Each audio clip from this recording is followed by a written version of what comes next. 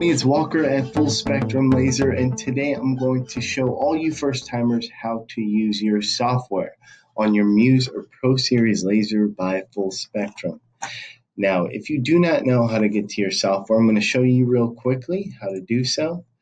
Your laser has a touch screen, and on that touch touchscreen, uh, upon boot up, you're going to see an IP address in there.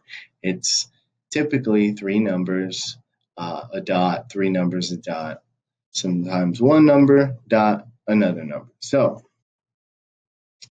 in our situation, it was the the IP address shown here.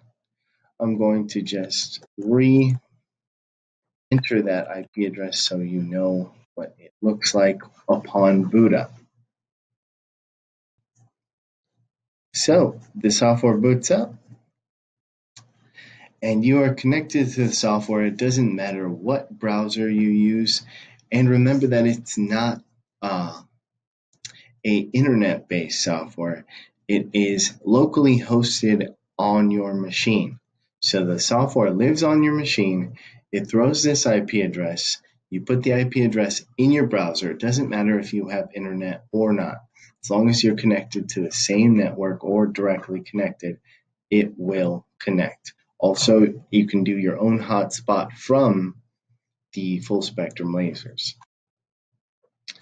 So first project, very simple. I suggest everybody start with not only looking at Laser 101 to learn how to use the machine, but I think engravings are a nice, fast way to get familiar with your machine. Now, when it comes to engravings uh, or rasters, you want to find a nice black image, especially with simple ones. So we'll go to Google. What I like to do is kind of search whatever you're into, maybe dog silhouette, and then I go to Tools, Color, Black and White that pops up very easy images. If you don't know how to design, like you uh, have a graphic design background, if you lack that, this is a very easy way to get started.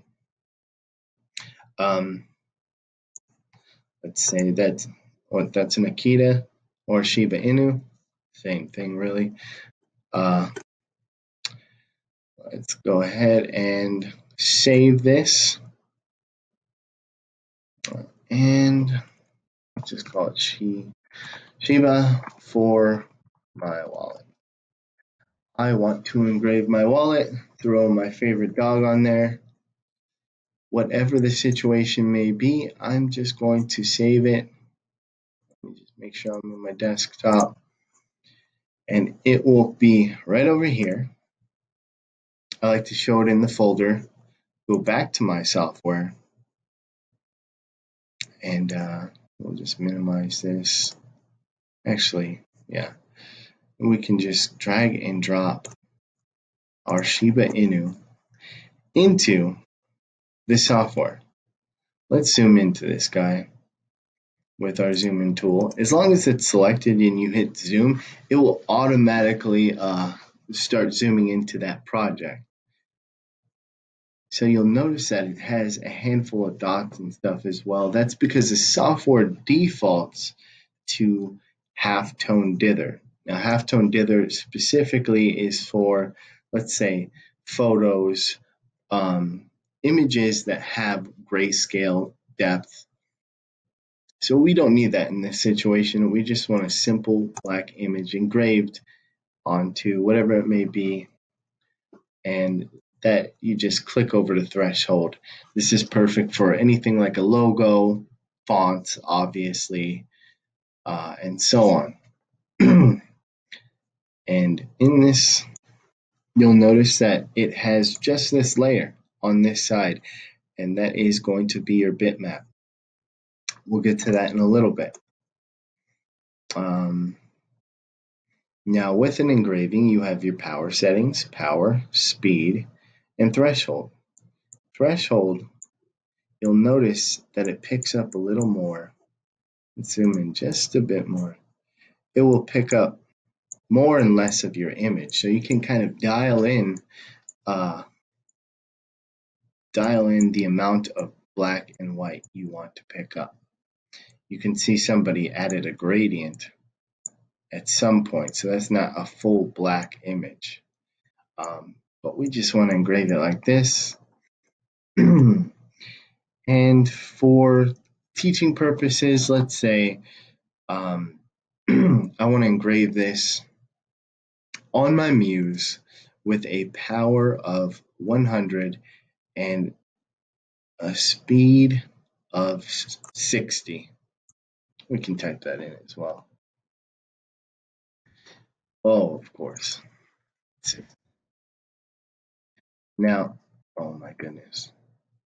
I need to stop clicking it afterwards. So we're at 60.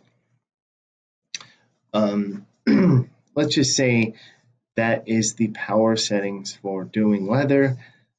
Now, when it comes to power settings, you are new to power settings. This is something that you are going to have to learn.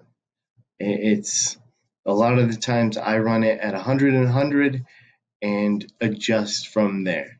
It's very easily, let's say you are doing your wallet and you do not want to ruin your wallet by going too much power. I like to run the job at a low power, see if it marked. If it didn't, stop the job, adjust the power from there. And as long as it you're stopping the job properly, it's going to go the same spot no matter what. So you can run over that same area over and over and over. If it continues to not mark, just bump up the power. And again, power and speed are correlated. If you are at 100 power and it's not getting as deep as you want or as dark on the engraving, then you will lower your speed, giving it more time to engrave that area. DPI is your resolution dots per inch. You can go up to 250, 500, and 1000.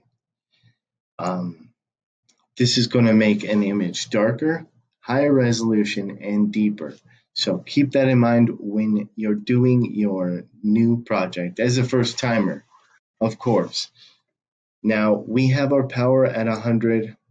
For this example, we'll bring it up to 100.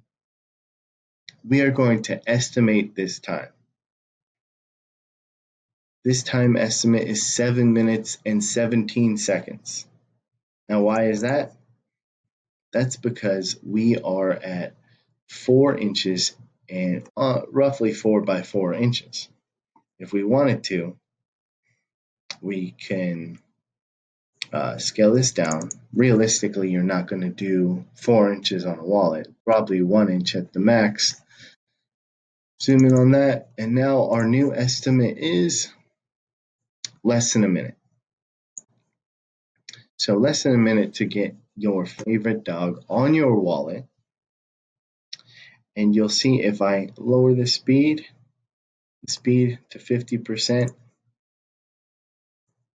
um, it went faster. Let's do uh, 100 speed, 500 DPI, and do the estimate. All right, so we've got one minute and 51 seconds which makes sense because it's going to double your speed because it's double the dots per inch. Um, 1000 DPI, let's do our estimate. 3 minutes and 38 seconds. So you can see that correlation when it comes to resolution and speed. Um, if you do have a camera on your system, you could take the camera and uh, in this situation, our pros don't have any cameras, but you can take your camera at this point after you put the wallet and line it up that way. Um, it's very straightforward. If you want to take a look at our next video, it will be covering the whole user interface. So until next time, keep making.